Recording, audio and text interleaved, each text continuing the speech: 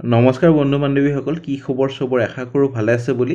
অসমৰ number one private job পৰ্টেললৈ চবকে স্বাগতম জনালোঁ আৰু আজি আমি কিছুমান ভাল ভাল প্ৰাইভেট জব ভেকেঞ্চি অসমৰ আলোচনা কৰিম য'ত কোনো ফিজ দিব নালাগে কোনো কনচালটেশ্যন নোযোৱাকৈ ঘৰত থাকি থাকি আৰামছে এপ্লাই কৰিব পাৰিব সময় নষ্ট নকৰি ভিডিঅ'টো ষ্টাৰ্ট কৰিছোঁ। সদায় নিচিনা খালি গুগলত আহি টাইপ কৰি দিলে হ'ল আমাৰ চেনেলৰ নাম অসম জব ফ্ৰী নেটৱৰ্ক সেনেকুৱা ৱেবছাইটটো আহি যাব য'ৰ পৰা মই সদায় আপোনাৰ চাকৰিবোৰ আপডেট দি থাকোঁ আৰু আপোনালোকে নিজে সেই ৱেবছাইটটো ভিজিট কৰি চাকৰিবোৰ চাব পাৰিব আৰু এপ্লাই কৰিব পাৰিব। আজি আপোনালোকৰ আহিছে Assam private job vacancy two thousand twenty four ভালেমান ভেকেঞ্চি আছে আৰু কণ্টেক্ট নাম্বাৰ কিছুমানত থাকিব কিছুমানত ইমেইল আই ডি থাকিব। সেনেকুৱা আপোনালোকে যোগাযোগ কৰিব লাগিব কোম্পানী বা অফিচৰ লগত। তাৰপিছত ইণ্টাৰভিউৰ কাৰণে যদি মাতে ইণ্টাৰভিউলৈ যাব লাগিব আৰু ইণ্টাৰভিউ যদি ভাল হয় চাকৰি এটা পাবলৈ সক্ষম হ'ব। চ' এনেকুৱা বহুত ভেকেঞ্চি আপোনাৰ আহিয়ে থাকে সদায়। যোৱাকালি মই আলোচনা কৰিছিলোঁ private company job Assam. Eight pass ten pass যদি ভেকেঞ্চি বিচাৰি আছে এইটো ভিডিঅ' চাব পাৰে। Assam new private job vacancy ফ্লিপকাৰ্টৰ vacancy cement company all Assam private job private limited company private company job Assam. চব বহুত ভেকেঞ্চি আপোনালোকৰ ডেইলি বেচিছত আহিয়ে থাকে।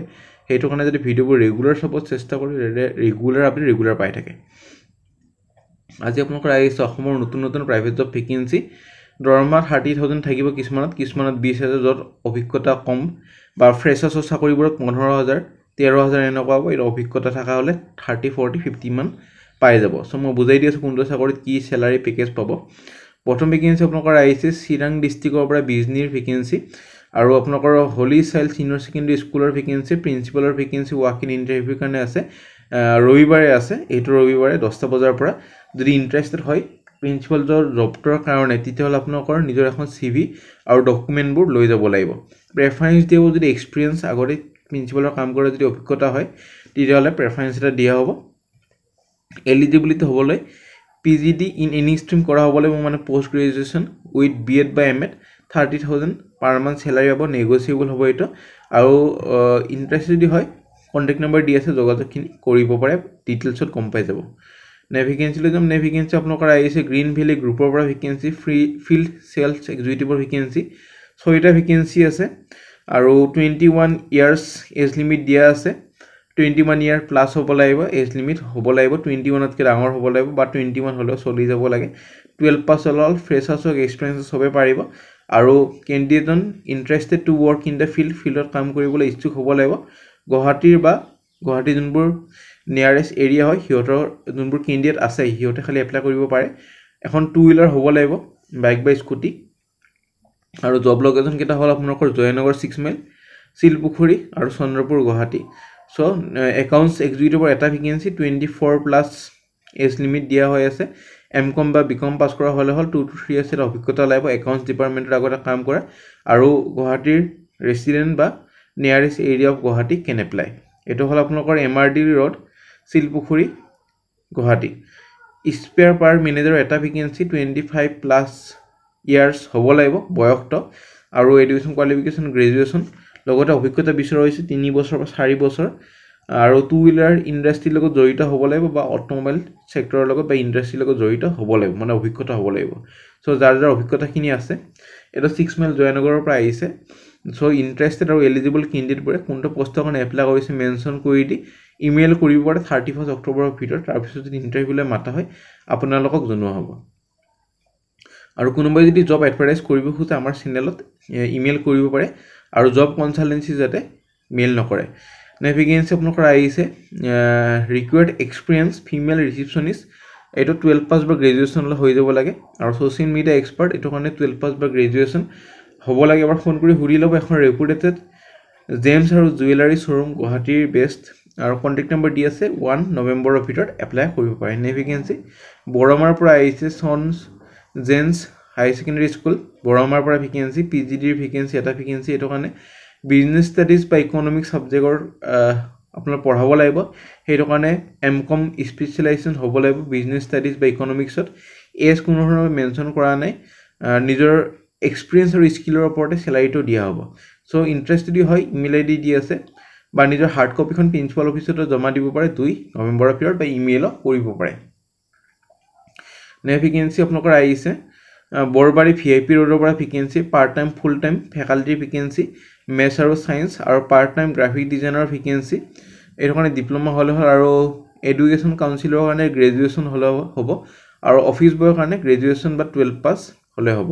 চ' ইমেইল আই ডি দিয়া নাই ডাইৰেক্ট হোৱাটছএপ নাম্বাৰ দি আছে হোৱাটছএপত নিজৰ ৰিজিউমিখন পঠাই দিয়ক আৰু কিবা যদি সুধিবলগীয়া আছে হোৱাটছএপতে গোটেইখিনি যোগাযোগ কৰি ল'ব পাৰিব ওৱান নৱেম্বৰৰ ভিতৰত এপ্লাই কৰক। নাই ভেকেঞ্চি আপোনালোকৰ আহিছে নগাঁৱৰ পৰা ভেকেঞ্চি মেৰিডেন কিয়া নগাঁও। টেকনিচিয়ানৰ চাৰিটা ভেকেঞ্চি তেজপুৰৰ আছে দুটা নগাঁৱৰ দুটা আছে। দুটা দুটা ভেকেঞ্চি এইটো মানে I T I automobile mechanical বা ইলেক্ট্ৰনিকেল কৰা হ'লে হ'ল। ইলেক্ট্ৰিকেল কৰা হ'লে হ'ল আৰু ডিপ্ল'মা অট'মোবাইল বা মেকানিকেল কৰা হ'লে হ'ব। আৰু মিনিমাম এক্সপিৰিয়েঞ্চ তিনি বছৰ এটা লাগিব। চ' যাৰ যাৰ অভিজ্ঞতা আৰু গোটেইখিনি কোৱালিফিকেশ্যন আছে আৰু এলিজিবল হয় email I D contact number দি আছে যোগাযোগ কৰি ল'ব পাৰে থাৰ্টি ফাৰ্ষ্ট অক্টোবৰৰ ভিতৰত। নে ভেকেঞ্চি ইংলিছ আৰু ছ'চিয়লজি টিচাৰৰ ভেকেঞ্চি এম এ আৰু এম এ আৰু বি এ আৰু বি এড কৰা হৈ আছে যদি প্ৰেফাৰেঞ্চ দিয়া হ'ব little star senior secondary school ন মাইল গুৱাহাটীৰ পৰা আহিছে email I D contact number দি আছে যোগাযোগ কৰিব পাৰে।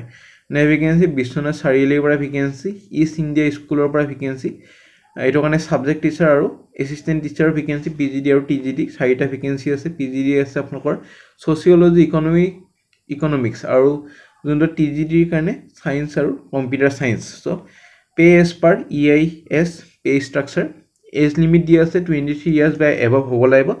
আৰু পষ্ট গ্ৰেজুৱেশ্যন মানে যোনখন আছে পি জি ডি সেইটো কাৰণে মাষ্টাৰ ডিগ্ৰী কৰা হ'ব লাগিব বা পষ্ট গ্ৰেজুৱেশ্যন কৰা হ'ব লাগিব। লগতে বি এড লাগিব আৰু ফ্লুৱেঞ্চি হ'ব লাগিব ইংলিছ লেংগুৱেজ টি জি ডিৰ কাৰণে bachelor degree in and respective subject আৰু বি এড কৰা হ'ব লাগিব ফ্লুৱেঞ্চি হ'ব লাগিব ইংলিছত চ' যাৰ যাৰ কোৱালিফিকেশ্যন বা এলিজিবল হয় সিহঁতে নিজৰ ৰিজিউমিখন ইমেইল আই ডি দি আছে থাৰ্টি ফাৰ্ষ্ট অক্টোবৰৰ ভিতৰত এপ্লাই কৰক তাৰপিছত যদি ইণ্টাৰভিউলৈ মাতা হয় জনোৱা হ'ব খালি পষ্টৰ নামটো লিখি দিব টি জি ডি নে পি জি ডি এপ্লাই কৰিছে। নে ভেকেঞ্চি আন একাডেমি গুৱাহাটীৰ পৰা ভেকেঞ্চি টেলিকলাৰ এইটো কাৰণে টুৱেলভ পাছ কৰা হ'ব লাগিব। ছায়েন্স ষ্ট্ৰীমত যদি টুৱেলভ পাছ কৰা হয় প্ৰেফাৰেঞ্চটো দিয়া হ'ব। Experience one year salary ten thousand and above WhatsApp number দি আছে ইমেইল আই ডি দি আছে যোগাযোগ কৰি ল'ব পাৰে আৰু এপ্লাই কৰিব পাৰে টুৱেলভ পাছৰ ভালেমান ভাল ভেকেঞ্চি এইটো এটা চ' যোগাযোগখিনি কৰি ল'ব। নে ভেকেঞ্চি আপোনালোকৰ আহিছে। ফেকাল্টিৰ ভেকেঞ্চি এখন এডুকেশ্যন ইনষ্টিটিউট কম্পিটেটিভ এক্সামৰ কাৰণে প্ৰিপেৰেশ্যন কৰা এৰেকমেটিক মানে mathematics reasoning English general knowledge এইবোৰ পঢ়াব লাগিব ফৰ ভেৰিয়াছ এক্সামিনেশ্যন যেনেকুৱা I B P S S S C A D R E আৰু ৰেলৱে কেণ্ডিডেটজনৰ এক্সপিৰিয়েঞ্চ হ'ব লাগিব conducting in conducting competitive exam classes at coaching centre তেতিয়া প্ৰেফাৰেঞ্চ এটা দিয়া হ'ব। প্ৰেফাৰেঞ্চ দিব যদি আগতে পাছ কৰা আছে যেনেকৈ A D R E I B B S যদি পাছ কৰা অভিজ্ঞতা আছে তেতিয়াহ'লে প্ৰেফাৰেঞ্চ এটা দিয়া হ'ব। ইমেইল আই ডি দিয়া নাই ডাইৰেক্ট কণ্টেক্ট নম্বৰ দি আছে যোগাযোগখিনি কৰি ল'ব দুই এদিনৰ ভিতৰত। তাৰপিছত যদি ইণ্টাৰভিউলৈ মাতা হৈ জনোৱা হ'ব। চ' আজিলৈ মানে যদি ভিডিঅ'টো চাই ভাল লাগিলে এটা লাইক কৰি দিব নাপাহৰিব কিবা যদি সুধিবলগীয়া আছে কমেণ্ট ছেকশ্যনত সুধিব পাৰে আমাৰ WhatsApp group Telegram group Facebook group যদি জইন কৰা কৰিব পাৰে তে ভাল ভাল আপডেট পাই থাকিব। আজিলৈ মানে আগলৈ ভিডিঅ'বোৰ চাই থাকিব।